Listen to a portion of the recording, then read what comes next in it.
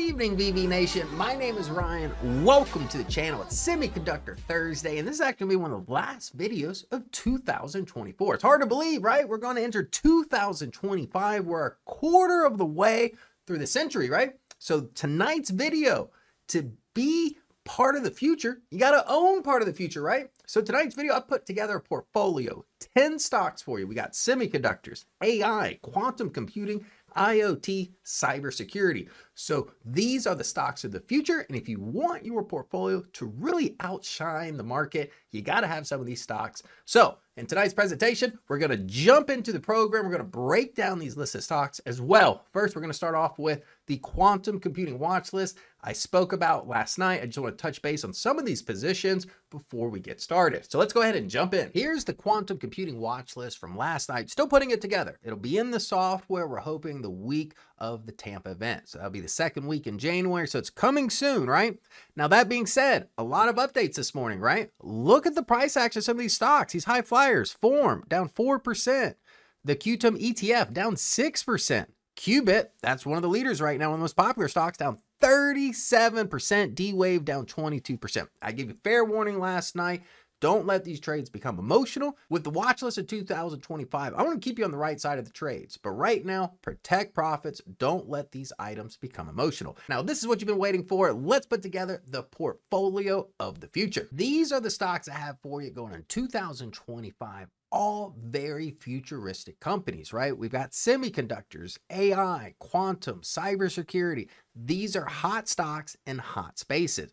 Now, some of the big high flyers like Qubit, I didn't put it on the list, right? Because it's down like 20, 30% today. Too much volatility. 2025, I want to make money with ease. So you can see the strategy I have here. I got NVIDIA and Google. These are two very safe companies, undervalued.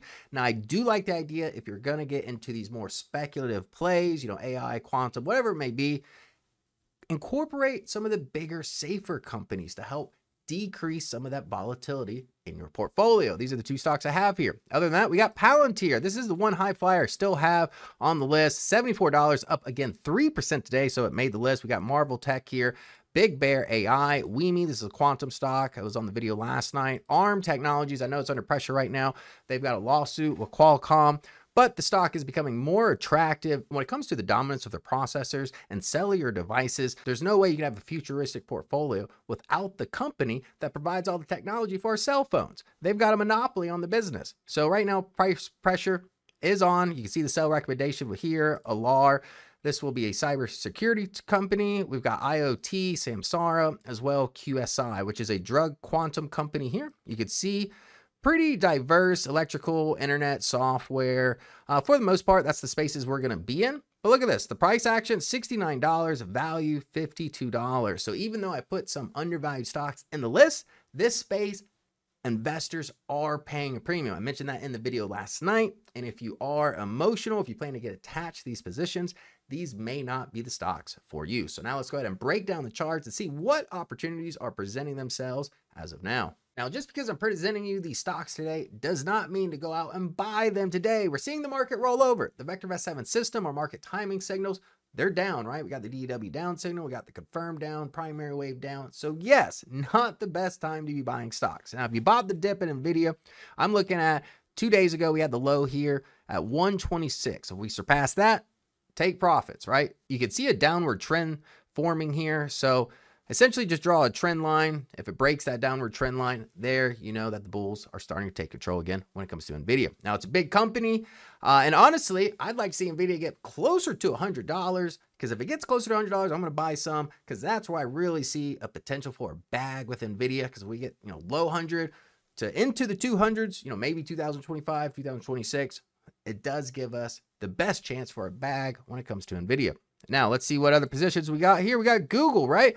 Look at the valuation on the rise. This is one of my favorite MagSev companies right now. And they released the Willow chip. Big news last week. You know, they're one of the leaders in the quantum computing space, and they've got their tentacles in just about everything. So Google, you know, another great safe play going into 2025. Palantir, we're spicing up a little bit. You see momentum here to the upside. Now, I do have a moving average here. I'm going to change this to 40. Now, as long as price action can stay above that 40 day moving average, I see momentum for the bulls. Now, as far as the stock itself, the only concern here, valuation, right? The stock is definitely overvalued. Investors are paying a premium, but every week I'm seeing this company get new government contracts. So I have a feeling this money is going to come to fruition, uh, you know, here in the near future, and this value should, you know, rise.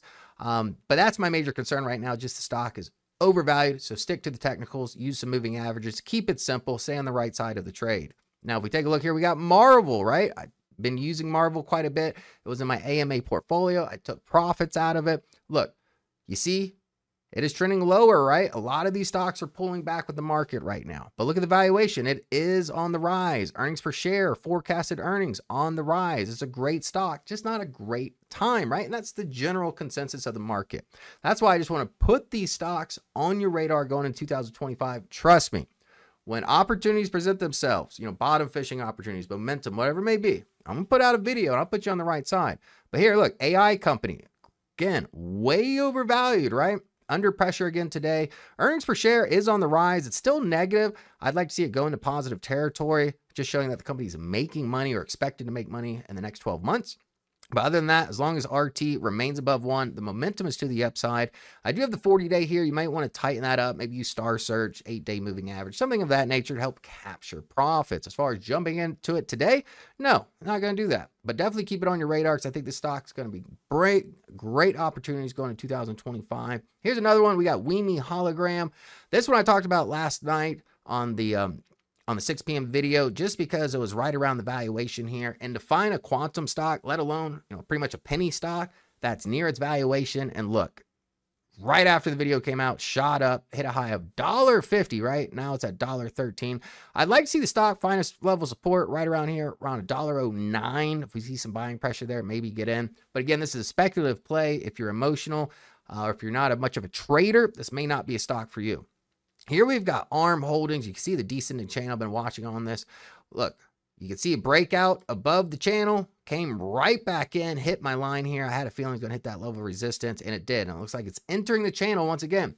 Now, they've got some drama with Qualcomm over some licensing, and they're going to court for it, right? So I don't really see this stock taking off until after the news, right? And we'll see how that plays out. But you know, they are, you know, pretty much have a monopoly when it comes to processors for smartphones. And smartphones, Let's be honest, it's the way of the future, right? So this company well positioned right here. Alar, this is a cybersecurity company, software security. And you can see, look, price action pretty flat right now, not very hype. You know, these spaces, you can see a lot of hype in them, right? You can see valuation and price action on the rise. Hype is over. The sell recommendation comes in, breaks the 40 day moving average. That's where you want to take profits.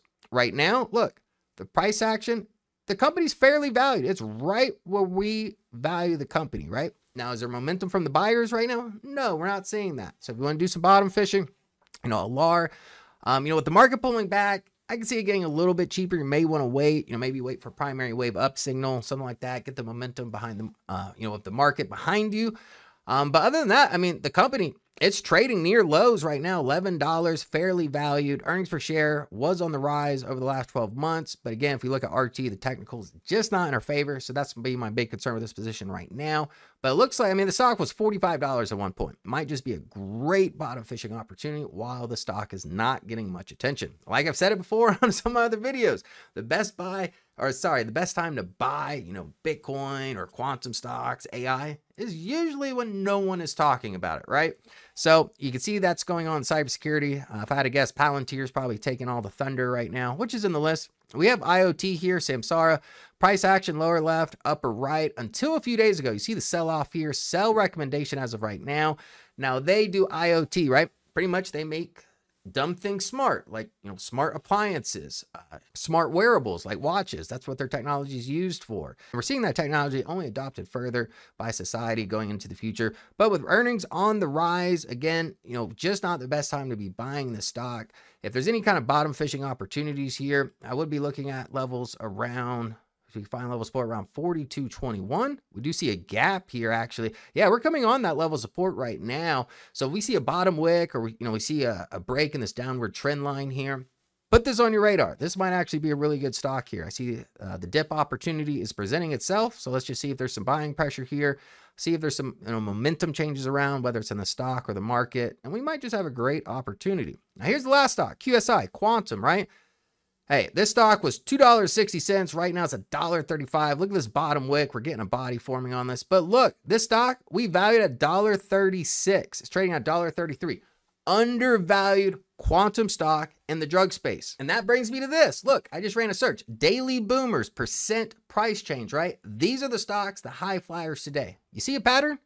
Drug, drug, drug, drug, drug, drug. That what last stock I sent you? Drug company, and it's in the quantum space, and it's undervalued.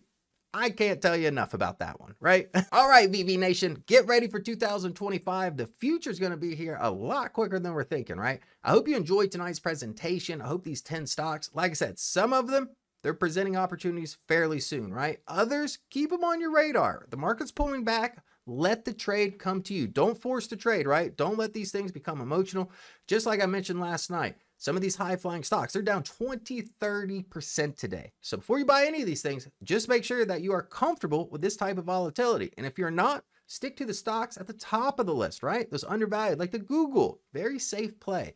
Now, you guys enjoy your weekend. I'll see you next week. Everybody have a happy holiday. 2025 is almost here. You know what that means? The clock is ticking down for our flagship event. That's right, two day investment seminar January 10th and 11th in Tampa. Now, if you want to visit this in person, there are a couple seats left available. Just go to vectorvest.com forward slash Tampa. See you there.